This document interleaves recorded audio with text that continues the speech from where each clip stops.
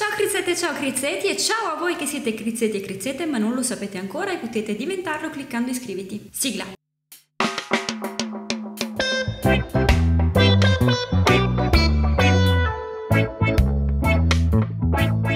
Sappiate che se non vengo lasciata oggi sono una donna molto fortunata. Vi racconto un aneddoto. Allora, ieri sera, ieri sera io ho messo a posto una quantità di libri che uscivano dalle pareti, cioè ve lo giuro, avevo libri sparsi ovunque, tra gli ultimi acquisti, eh, tra roba che era rimasta da Natale sullo sgabello perché era in lettura ma non l'ho ancora letta, cioè tra il salotto e l'ingresso c'erano delle montagne di libri. C'era il mio ragazzo che poverino non diceva niente, soffriva in silenzio per questa cosa. Ieri sera mi sono messo una mano sul cuore e ho risistemato completamente l'intera libreria, tutti gli scaffali, cercando di fare ordine, di mettere le cose con un criterio eh, non ci stanno più, quindi a incastrare i libri. Eh. E oggi giro un video haul di tutti i miei manuali di scrittura creativa. Quindi ho dovuto ritirarli giù tutti io qui non so quando verranno rimessi a posto, per cui boh, questo era un video su richiesta e per questa richiesta sto rischiando la mia serenità familiare, per cui chi mi aveva fatto la richiesta apprezzi moltissimo tutto questo. Premessa, non credo che quelli che vi farò vedere siano tutti i miei... Eh, appunto manuali relativi alla scrittura, alla lingua italiana, alla scrittura creativa, perché eh, appunto ho fatto un tentativo di razionalizzare anche per sezioni, perché la mia libreria è un posto estremamente irrazionale, per cui ce ne saranno sicuramente alcuni su altri scaffali che mi sono sfuggiti. Inoltre, eh, non sono tutti i materiali, assolutamente non sono tutti i libri che uso eh, quando si tratta di organizzare e strutturare dei laboratori di scrittura creativa, perché anzi io uso tantissimo eh, i libri d'arte parte a volte per, mm, nel corso dei workshop. Quindi in realtà questi sono, mm, sono stati più testi che eh, sono serviti a me per mio interesse personale, per strutturare meglio eh, certe cose, sia a livello di lezioni che anche appunto a livello di eh, lavoro personale sui testi. Alcuni sono testi che ho scelto io, altri sono testi che mi sono stati regalati o che mi sono arrivati in qualche strano modo. Ve li farò vedere tutti molto rapidamente dicendo giusto due parole di ciascuno perché sennò viene davvero un video troppo lungo. Tutti i libri che vi farò vedere comunque li trovate qui sotto nell'info box con il link. Se per caso vedete qualcosa che vi interessa e lo volete acquistare e siete abituati ad acquistare online, facendolo attraverso i link che trovate qui sotto, tra l'altro mi date una mano perché sono tutti link con l'affiliazione di Amazon. Sono tutte piccole entrate che mi aiutano a sostenere questo canale. Il viaggio dell'eroe ci ho dedicato un video molto di recente, almeno mi sembra di averci dedicato un video molto di recente, ve lo lascio qui nella scheda info. Scrivere è un tic pubblicato da Minimum Fax, molto carino, un libro italiano. Consiglia un giovane scrittore di Cerami. Questo, questo libro mi è stato estremamente utile utile, non tanto sulla parte della scrittura creativa in senso lato, quanto su una sezione molto specifica. Allora, tra l'altro questo qua è un libro che io avevo acquistato per obbligo, nel senso che era uno dei testi di studio eh, dell'unico eh, corso di scrittura creativa che io abbia seguito all'università, nella specialistica, nella biennale, eh, nel programma appunto della mia specialistica in editoria e comunicazione c'era anche un corso di scrittura creativa che è stato molto interessante e tra i testi consigliati c'era appunto questo di Cerami. Mi è stato utilissimo, dicevo, in una maniera insospettabile perché eh, conteneva all'interno anche una sezione dedicata ehm, alla scrittura come parolieri, cioè alla scrittura dei testi per le canzoni, attività che io ho fatto e che mi capita a volte saltuariamente ancora di fare per degli amici musicisti, solo che ovviamente all'inizio non avevo idea di da dove cominciare e eh, questo testo è stato un validissimo aiuto perché insegna proprio un metodo molto semplice che può essere applicato in qualsiasi lingua e che effettivamente dà una grossa mano. Più che altro dà una mh, mm, grossa mano anche per chi non ha una preparazione musicale particolare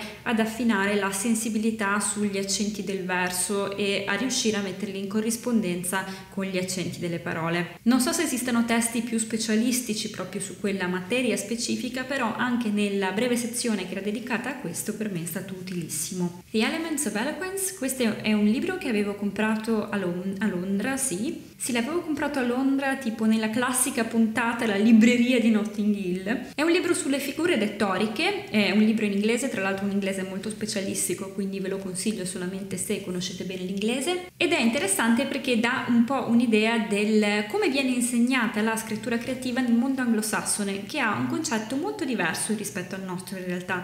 Credo di aver dedicato un video anche a questo argomento, nel caso lo ritrovassi ve lo lascio qui nella scheda info. Questo è fondamentale, lezione Lezioni americane di Italo Calvino. Che ve lo dico a fare? Ve lo devo presentare? No, dai. Questo è la Bibbia. Breve storia della lingua italiana, anche questo è un testo universitario, ma che ho conservato poi eh, nella manualistica della scrittura creativa perché è interessante da quel punto di vista per me. Qua ho tre librettini più piccoli come parlare di un libro senza averlo mai letto? Utilissimo. Come raccontare una storia e l'arte di mentire di Mark Twain, che in realtà è una uh, piccolissima raccolta di estratti da Mark Twain. E questo No, questo non c'entra assolutamente nulla, non so perché sia finito qui. L'ordine, l'ordine nella mia libreria, ragazzi, cioè c'è finito un racconto di Cervantes in mezzo. Ah, questo adoro. Morfologia della fiaba di Prop, che sicuramente vi ho già fatto vedere, di cui vi ho già parlato in tutte le salse. È un testo che per me è stato ed è utilissimo, utilissimo sia per quanto riguarda i corsi destinati agli adulti